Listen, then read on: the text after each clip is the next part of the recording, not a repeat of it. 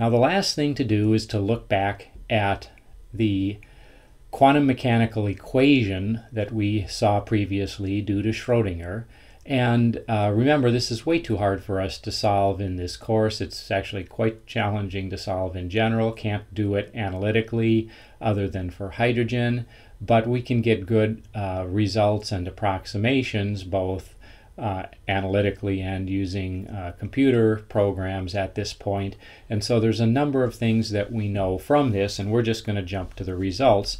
Uh, a little bit more about quantum mechanics in terms of the modern view or the modern model of electronic structure and what we know uh, about atoms and the electrons in them at this point.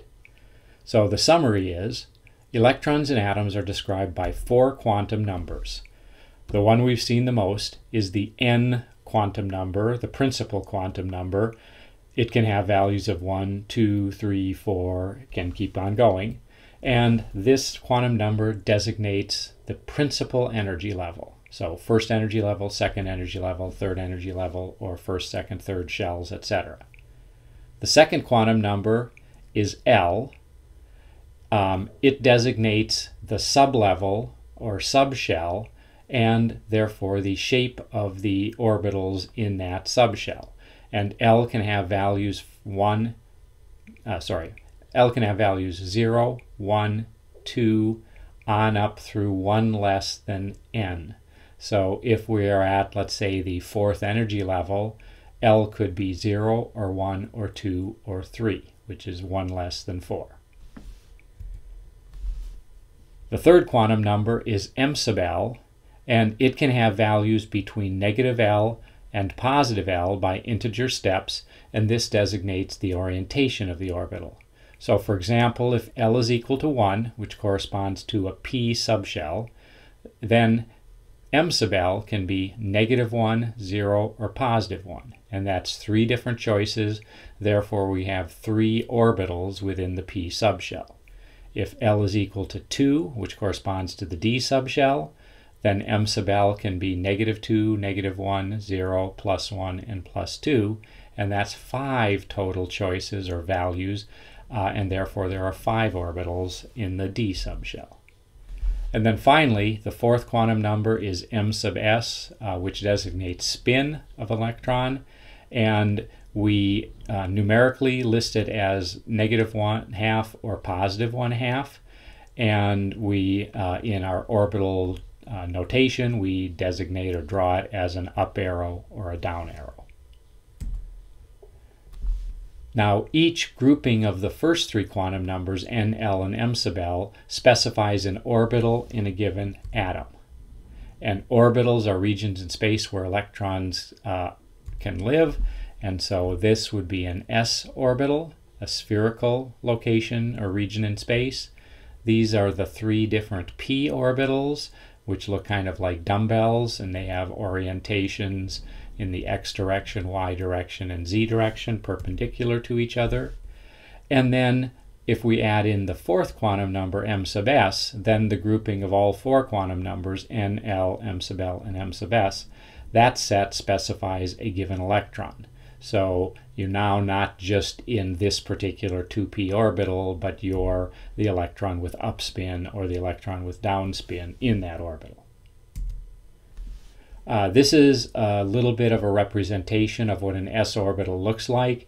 Each of these dots represents um, where an electron might be if you took a picture uh, or if you were able to take a picture of the this particular orbital and over time, you take lots and lots and lots of pictures, and each dot represents that's where the electron was at that instant.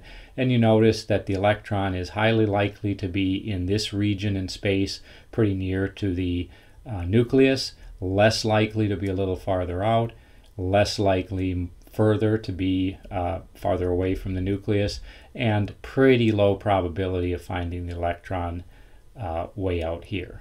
So Orbitals are really essentially probability distributions of likelihood to find uh, an electron in a given region, and we often do a boundary of an orbital where it's containing uh, the, the region in space where the electron would be found, let's say 90% of the time, or 95% of the time, or something like that.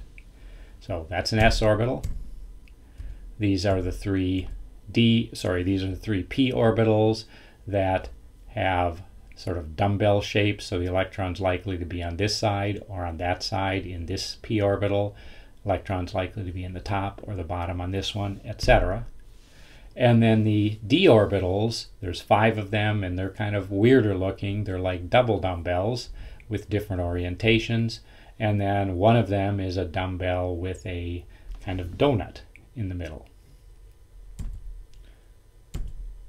Okay, so a couple questions with regard to this, and then that should be sufficient background, hopefully. If n equals 3, what are the possible subshells? Well, remember that the subshells are the s, the p, the d, etc. So if n is equal to 3, then remember that L can be anything from 0 on up to 1 less than 3. So L could be 0 or 1 or 2.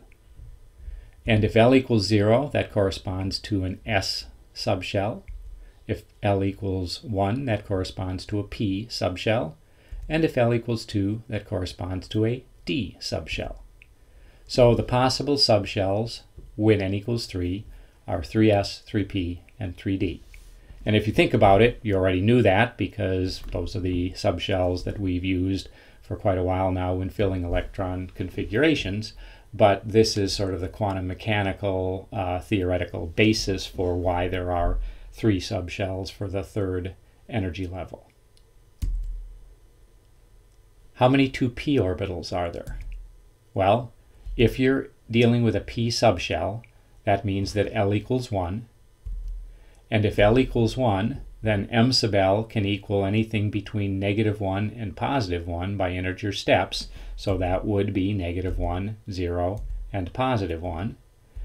And those are three distinct possibilities. Here's one of the 2p orbitals, here's another 2p orbital, and there's the third 2p orbital. We already know that there are going to be three because we've done a bunch of electron configurations. Here are the three 2p orbitals, just sort of what they look like, and you can see they're oriented along the x, y, and z axes perpendicular to each other.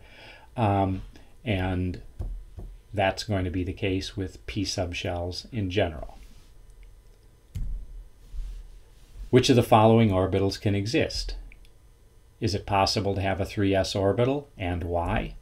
Well, sure. If n equals 3, then L can equal 0 or 1 or 2, L equals 0 corresponds to S, so 3S is certainly possible. How about 4P?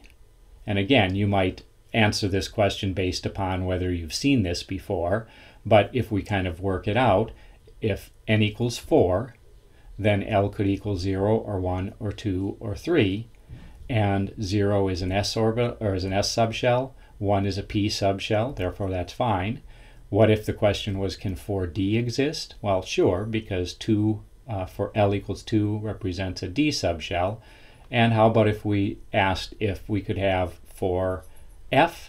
And you'd have to say yes to that as well, because if L equals 3, which is possible for N equals 4, L equals 3 corresponds to an F subshell, and so 4F would exist as well. So we got diverted a little bit, but yes, 4P definitely can exist.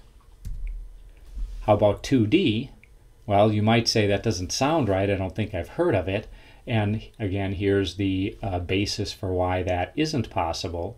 If n is equal to 2, then L can only equal 0 or 1. L equals 0 corresponds to an S subshell. L equals 1 corresponds to a P subshell. L equals 2 would be required to get a D subshell, but you can't have L equals 2 with N equals 2. So Nope on that one. And then, which of the following sets of quantum numbers are possible? So here we have all four quantum numbers for a given electron, and you go through it from left to right and see if it follows the rules.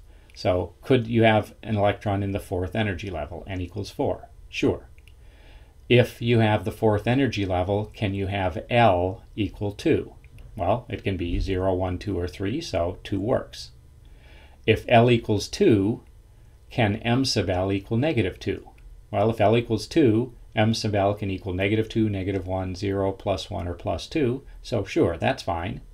And then the last one, what are the possible values for m sub s? Well, m sub s can either be plus a half or negative a half, and negative a half is just fine. How about this one? Can n equals 3 n equal 3? Absolutely. If n equals 3, can L equal 0? Well, that's fine as well, and that would designate an S subshell. If L equals 0, can M sub L equal 1? And the answer to that is no. If L equals 0, M sub L can only have value of 0.